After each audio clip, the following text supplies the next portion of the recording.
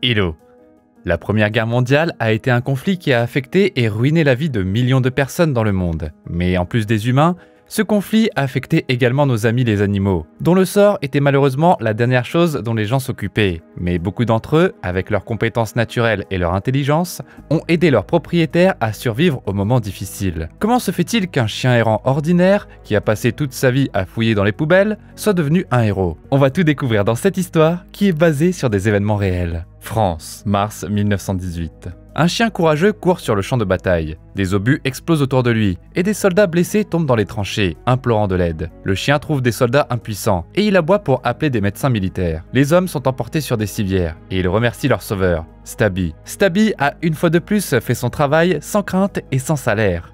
Let's go. We've got a war to win.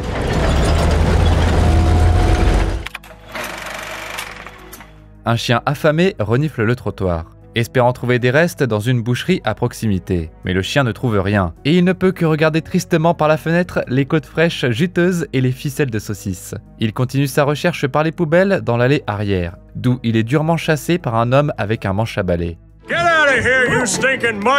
L'animal recule, grimpe à travers un trou dans la clôture et ramasse joyeusement l'os qui lui a été lancé. N'en croyant pas sa chance, le chien se précipite dans les rues animées, énervant les passants. Il se laisse distraire et il se heurte à des rangées de personnes qui regardent quelque chose avec beaucoup d'intérêt. De l'impact, l'os s'envole et se perd au milieu de la foule de jambes. Le chien se glisse à travers eux et voit des soldats marcher devant lui. Les gens les regardent partir à la guerre. Le chien est toujours affamé et l'un des jeunes hommes en uniforme le remarque. Il jette un biscuit de sa poche à l'animal. Après avoir rapidement avalé la friandise, le chien court sur la route et il suit la formation et le gentilhomme qui l'a nourri. Nous sommes en 1917, au milieu de la Première Guerre mondiale. Les États-Unis ont déclaré la guerre à l'Allemagne et à ses alliés, se rangeant du côté de l'alliance de l'entente. Robert, l'homme qui a attiré l'attention du chien, est l'un des quelques millions d'Américains qui ont accepté de traverser l'océan pour aider les soldats français. Après trois ans de guerre, ils n'ont pas réussi à prendre le dessus, et ils avaient de grands espoirs que l'armée américaine vienne les aider.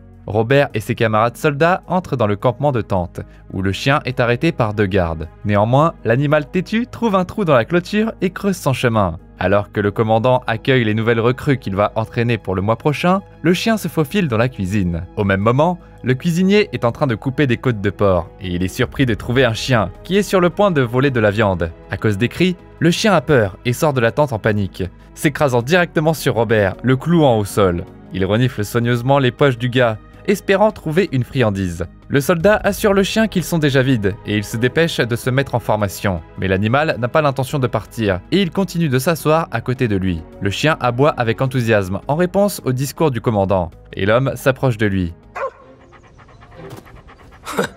At least he's ready. Le sergent remarque que Robert est stressé lorsqu'il demande qui est le propriétaire du chien. Mais il ne gronde pas le soldat, et il ordonne plutôt de prendre soin de l'animal et de lui donner à manger. Après l'ordre au repos, le gars conduit le chien à la cantine, où il passe les instructions du commandant au cuisinier. L'homme obéit à contre-coeur, jurant sous sa barbe. Les amis de Robert, Olsen et Schroeder, s'assoient à table avec lui. Ils sont surpris que le sergent ait permis à l'animal de rester, et ils mentionnent que le colonel est peu susceptible de soutenir une telle initiative. Quand le chien essaie insolemment de prendre l'assiette d'Olsen, le gars dit qu'il déteste les chiens. Avant l'heure du coucher, le chien veut monter sur le lit de Robert, mais celui-ci l'arrête et lui apprend à dormir sur le sol à côté de la couchette. Le lendemain, les soldats sortent pour s'entraîner, et le chien marche et court à leur côté. Au champ de tir, il n'a pas peur des coups de feu et obéit à l'ordre d'aller chercher la cible de Robert. Well done, soldier. Thank you, Sergeant. Not you. You missed the target completely. Le chien suit son nouveau propriétaire partout, et le gars est toujours heureux de le voir dans les parages. Le sergent dit que l'animal est le meilleur soldat de l'escouade, disant qu'ils pourraient tous apprendre beaucoup de lui, bien qu'il ne devrait pas répéter chacun de ses mouvements. Cette nuit-là, Robert nomme son animal de compagnie Stabby, notant sa courte queue mignonne, qu'il remue sans arrêt. Olsen est toujours dubitatif, avertissant d'une séparation imminente d'avec le chien à cause des supérieurs. Le soir, Robert entraîne Stabby à bien se comporter. Le lendemain, le sergent annonce que leur division s'appellera les Yankees, et qu'elle sera parmi les premières à se faire envoyer en Europe. Il précise aussi que Stabby est leur mascotte et fait partie intégrante de l'équipe. Le colonel apparaît et il déteste immédiatement le zoo pour enfants organisé dans l'unité. Robert se présente comme le propriétaire de l'animal et Stabby démontre ses compétences en saluant avec sa patte. Cette action impressionne le colonel qui change d'avis. As long as that dog soldiers like that, he's as welcome as any man in this army. Carry on, man! Bientôt, l'équipe se dirige vers un test de gaz lacrymogène. Stabby est alarmé de voir les soldats mettre des masques à gaz et entrer dans la maison. Là, le sergent libère le gaz et leur ordonne de retirer leur protection. Allaitant et toussant, les jeunes hommes sortent en courant. Ce n'était qu'un jeu d'enfant par rapport aux armes chimiques utilisées à la guerre, donc leurs masques à gaz doivent toujours être prêts. Stabby, qui est resté dehors, ressent également l'effet dévastateur du gaz flottant par terre et il se couvre le nez avec ses pattes. Néanmoins, toute cette formation militaire ressemble à un jeu pour le chien. Et de plus, il adore quand Robert lui lance une balle. Ayant gagné le respect et l'amour des soldats et des commandants, Stabby parvient également à faire fondre le cœur du cuisinier strict. Maintenant, Stabby reçoit personnellement une portion de sa part. Au dîner, Olsen et Robert demandent à Schroeder pourquoi il s'est enrôlé dans l'armée, malgré ses racines allemandes. Do you see how people look at Germans these days? If I didn't join, I couldn't call myself an American. Le jour du départ des soldats pour l'Europe approche à grands pas.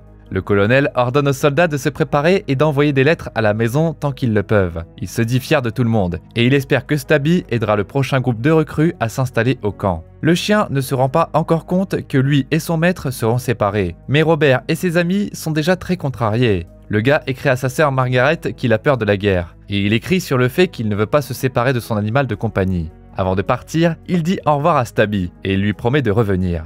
En cadeau de départ, il donne son premier collier au chien. Stabby aime vraiment son reflet dans le miroir. Robert prend Stabby en laisse et il le remet aux soins du cuisinier, qui promet de prendre bien soin de lui. Le chien est attaché à un poteau et le maître lui ordonne d'attendre. Mais Stabby est inquiet et il se rend compte qu'il se passe quelque chose d'étrange. Dès qu'il est laissé sans surveillance, le chien intelligent détache la corde et se précipite après Robert. L'équipe est déjà montée à bord d'un train à vapeur qui part d'une gare voisine. Stabby se précipite sur les rails et saute sur la voiture au départ. Ils arrivent au port, où le chien est ravi de voir des visages familiers. Les soldats montent à bord du navire, et Stabby contourne habilement les gardes, grimpant sur les caisses qui sont hissées à bord. Caché en toute sécurité, le chien se retrouve sur le navire avec les bagages. Sous le couvert de la nuit, le chien suit l'odeur, mais la longue laisse trahit presque sa présence. Néanmoins, Stabby se rend en toute sécurité à la cabine où dorment les soldats. Il y a des dizaines, voire des centaines de lits ici, mais le chien se souvient bien de l'odeur de son maître. Bientôt, son nez identifie sans équivoque les bottes de Robert. Par joie, Stabby saute sur le gars endormi, qui se réveille. Robert, complètement choqué, est tout aussi heureux de le voir, et il serre l'animal intelligent dans ses bras. Olsen et Schroeder lui rappellent d'éventuels ennuis, et les amis mettent le chien dans son sac à dos. Ils essaient de lui trouver une cachette, mais ils tombent sur le colonel et un général dans l'escalier. Les gars tombent maladroitement par terre, se trahissant, le chien débrouillard salue avec son maître. Le colonel explique que le chien est devenu un symbole du régiment. Mais ils assurent tous au général qu'ils n'ont pas amené Stabby à bord et qu'il a su entrer tout seul. Le chien donne son bâton au général. Et après ça, ce dernier ne peut plus être en colère. Well, I guess it's better to have every man and every dog we can get in this fight. Make sure he receives some Après ça, Schroeder sculpte le nom du chien et la division sur le collier. Ainsi, Stabby devient officiellement l'un des soldats. Leur navire continue de traverser les eaux de l'océan Atlantique. Mais l'ennemi est au courant de l'arrivée des troupes d'assistance, et de nombreux Américains meurent avant d'atteindre les côtes de France. À l'époque, les infos arrivaient très tard, en plus d'être incomplètes, de sorte que les proches des soldats ne pouvaient pas deviner leur sort. Deux mois plus tard, la sœur de Robert reçoit enfin une lettre, où il raconte l'évasion héroïque et l'arrivée de Stabby dans le nord de la France. Une fois sur le champ de bataille, les amis constatent que l'état des forces alliées est déplorable. Épuisés et abattus, les soldats gèlent dans les tranchées. Ils semblent avoir perdu tout espoir pendant les trois longues années de guerre. Stabby remarque que de nombreux rats volent de la nourriture aux Français. Sans perdre de temps, il commence joyeusement à chasser les ravageurs, ce qui change immédiatement la situation. Mais à l'aube, une attaque brutale de l'armée allemande commence. Les obus frappent directement les soldats alliés blessés et les tuent sous les yeux des amis. Stabby remarque du mouvement sous les décombres et il appelle les médecins en aboyant. Il continue de prouver son intelligence en aidant à sauver les soldats blessés. Mais les Français ne sont toujours pas particulièrement amicaux et le cuisinier refuse à nouveau de donner au chien sa part de la nourriture. Il insulte ensuite Schröder, le reconnaissant comme un Allemand. Olsen se bat pour défendre l'honneur de son ami. Ils sont séparés par un grand homme nommé Gaston, qui force les fauteurs de troubles à se réconcilier en les faisant s'embrasser. Il rencontre Robert et il annonce qu'ils vont se battre ensemble, ou plutôt qu'on leur a confié la tâche d'espionner les unités ennemies. Stabby se méfie de sa nouvelle connaissance, mais le bonhomme français partage généreusement du fromage et du vin, et ils deviennent rapidement amis. Gaston déteste la nourriture des soldats, et il trouve toujours quelque chose de plus appétissant à manger. Il appelle Schröder et Olsen, et les amis partent ensemble. Ils traversent un village en ruine. Pas une seule maison n'a survécu au bombardement, et cette vision triste persiste dans l'esprit de Robert pendant longtemps. Le bruit des explosions fait sauter les amis au sol, mais Gaston, expérimenté, explique qu'il s'agit d'une attaque des Alliés. À son arrivée au camp, Gaston escorte les Américains jusqu'à leur tente et le matin, il réveille Robert qui a trop dormi. Now let me sleep, Stubby. Just let me sleep a little bit more. Woof, woof.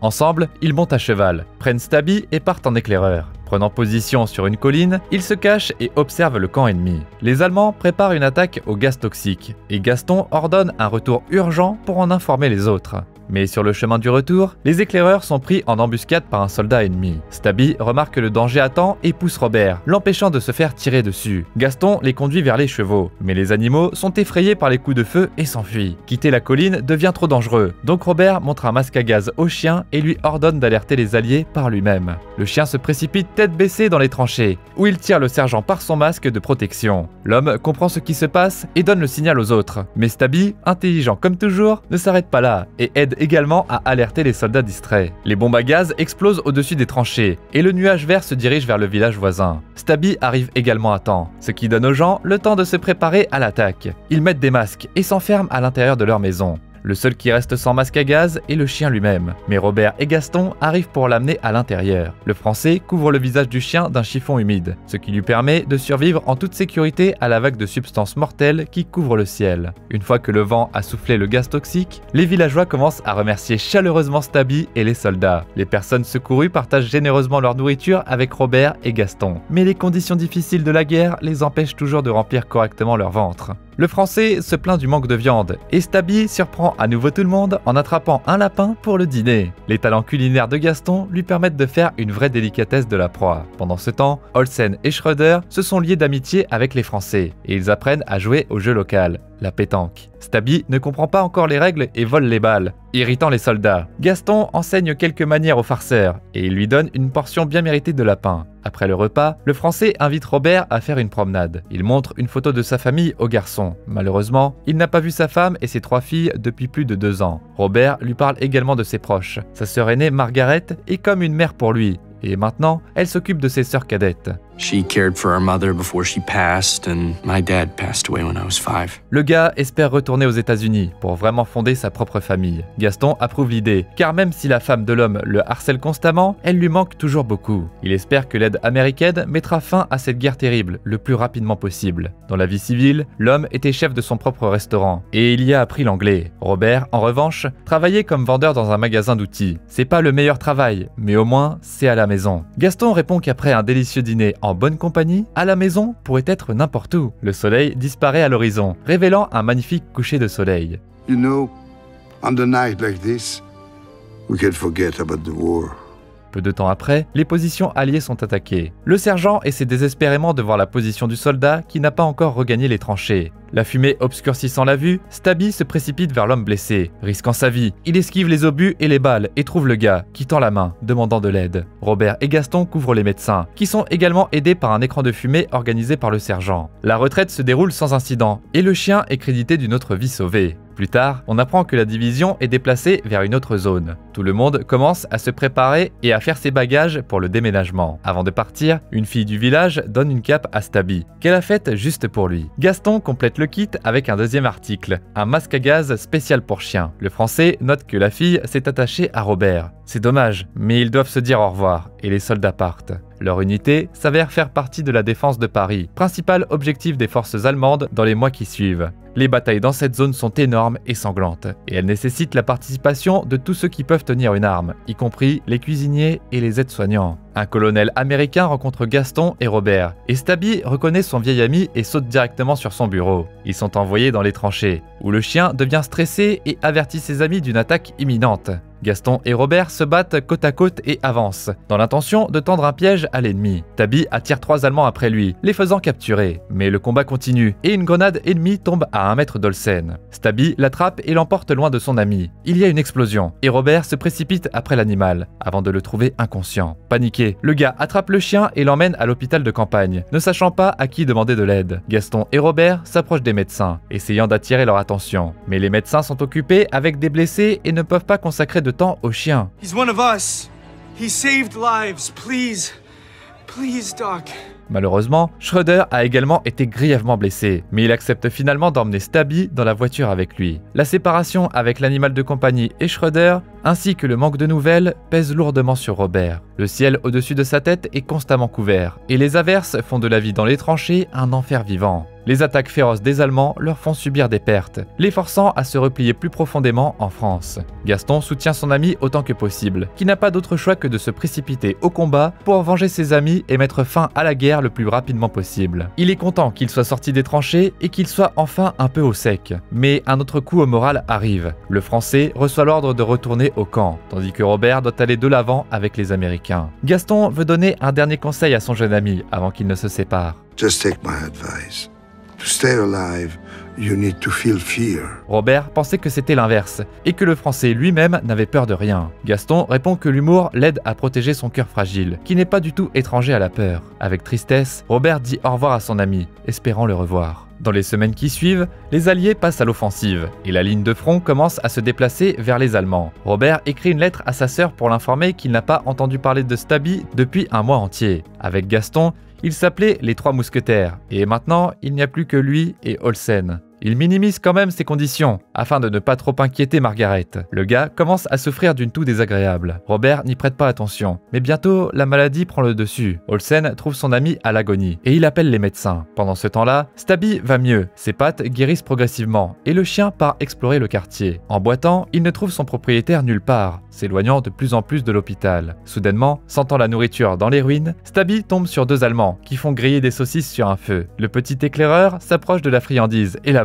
s'enfuyant à la hâte. Les médecins diagnostiquent une grippe très dangereuse à Robert, une grippe qui a tué un grand nombre de personnes en 1918. Ils informent Olsen que son ami a de très faibles chances de survie. Dans un état de délire, Robert appelle Stabby, voulant se précipiter au combat. Au même moment, le chien erre dans le désert tombant de fatigue, avec ses pattes encore non cicatrisées. Olsen continue de veiller à côté de son camarade, et un soir, il entend un bruissement suspect dans les buissons. Craignant une attaque ennemie ou des animaux sauvages, il prend son fusil et s'approche. En même temps, l'état de Robert devient si grave que les médecins n'ont plus aucun espoir. Soudainement, Olsen fait venir Stabby, qui a réussi à retrouver son maître, contre toute attente. Grâce à ces retrouvailles, le visage de Robert, épuisé, s'illumine d'un sourire. Les jours suivants, Stabby aide le gars à retrouver sa vitalité et à enfin récupérer. Après six mois de bataille et de difficultés, Olsen et Robert partent pour leur premier congé. Ils montent dans un train pour Paris et ils sont soudainement rejoints par Schroeder. L'ami a enfin récupéré de ses blessures et il est heureux de retrouver ses compagnons de bataille. Les gars profitent de leur repos dans la capitale. Ils se retrouvent avec des filles pour leur tenir compagnie. Robert, à son tour, reste avec son animal de compagnie qui lui manquait tellement. Pour la première fois depuis longtemps, il se détend dans une baignoire et quand il descend au café, les Parisiens le saluent, lui et Stabby comme des héros. Après avoir visité et écrit une autre lettre à Margaret, Robert retourne à l'armée. La guerre touche à sa fin, les Allemands battent en retraite, mais les combats se poursuivent et remarque un espion ennemi juste à temps. Il conduit son maître à lui et ensemble, ils emprisonnent l'ennemi. Pour ça, les partenaires reçoivent une récompense spéciale. I confer the honorary rank of sergeant on Stubby, the regimental mascot. Robert est également promu, mais il n'est que caporal, ce qui signifie que Stabby a techniquement un grade plus élevé que son propriétaire. Mais cela ne gêne pas le gars, qui est très heureux de revoir Gaston, qui est vivant, et qui a également assisté à la cérémonie. Après ça, les Yankees prennent une photo commémorative, et tous les grands journaux publient les nouvelles du chien courageux, qui devient un héros national. Le commandant du bataillon de chars met sur un char et mène solennellement la procession en avant. Robert est très heureux pour son ami fidèle. Avec les alliés, les amis avancent repoussant la ligne de front de plus en plus loin de Paris. En atteignant les tranchées allemandes, ils sont impressionnés par la qualité de leur construction. Soudainement, l'un des soldats rapporte que l'ennemi est sur le point d'admettre sa défaite et de cesser les combats. Bien que le sergent confirme cette nouvelle, il les informe que la trêve ne commencera qu'un jour plus tard. D'ici là, les combats se poursuivront. Les soldats sont perplexes quant à la raison pour laquelle l'effusion de sang devrait continuer. Olsen a hâte de retourner en Amérique, de se reposer et de fonder une famille. Why can't we just leave now? Just think. One last push and we're all going home. Les amis se détendent dans le camp, discutant des plans pour l'avenir. Gaston craint qu'après une longue séparation, ses filles ne le reconnaissent plus, vu qu'elles ont grandi. Le lendemain, à 9h du matin, la bataille finale commence. Les Alliés reçoivent l'ordre de passer à l'offensive, sous le feu de l'artillerie ennemie. Gaston se retrouve face à face avec deux Allemands qui lui demandent de déposer les armes. Robert et Staby arrivent juste à temps, pour retrouver la supériorité numérique. Gardant leurs doigts sur la gâchette, ils se mettent en danger mortel jusqu'à la toute dernière minute de la guerre. Mais les Allemands finissent par déposer les armes. Une sirène de cessez-le-feu retentit. Robert note l'arrivée de 11h. La guerre est maintenant terminée. Les amis sont en route pour retrouver les autres. Ils voient Schroeder, mais ils ne trouvent Olsen nulle part. Soudainement, Stabby trouve son casque et il l'apporte à Shredder. On peut voir un tir dessus. Le chagrin submerge les amis, qui ont perdu un compagnon dans cette bataille insensée, qui n'a rien changé. Plus tard, les Français donnent une boule de pétanque aux Américains et ils promettent de se souvenir d'Olsen, qui leur a appris le jeu de poker. Gaston fait ses adieux à Robert et Stabby. All for one. And one for all. Les Yankees rentrent chez eux, où ils sont accueillis comme des héros. Ils descendent du navire et Robert voit sa famille. Stabby est honorablement placé sur le capot de la voiture et conduit dans la rue sous les acclamations de la foule. Un photographe capture ce moment mémorable. Stabby reste le chien le plus décoré de l'histoire de l'armée américaine. Il a participé à 17 batailles, 4 campagnes militaires et a servi pendant 18 mois. La race exacte de Stabby reste un mystère. Les reportages de l'époque le qualifient de Boston Terrier ou de Bull Terrier américain. Une description plus complète des chercheurs se lit comme suit. Un chiot de couleur tigre qui doit ses origines en partie au Boston Terrier, une race si nouvelle que même son nom a été changé de nombreuses fois au fil des années. Stabby est décédé chez lui, paisiblement, en 1926. Il a été honoré d'une nécrologie dans le New York Times, et il a reçu à titre posthume le Purple Heart pour ses blessures de combat un prix décerné après les événements de la Première Guerre mondiale. L'effigie de Stabby ainsi que sa cape et ses médailles sont exposées au National Museum of American History à Washington DC. Comme toujours, tu trouveras le titre du film dans la description de la vidéo. En attendant, tu peux nous dire dans les commentaires si ton animal de compagnie t'a déjà aidé, même de manière moins héroïque. N'oublie pas de t'abonner à la chaîne et de liker cette vidéo aussi pour qu'on puisse te raconter encore plein d'autres histoires.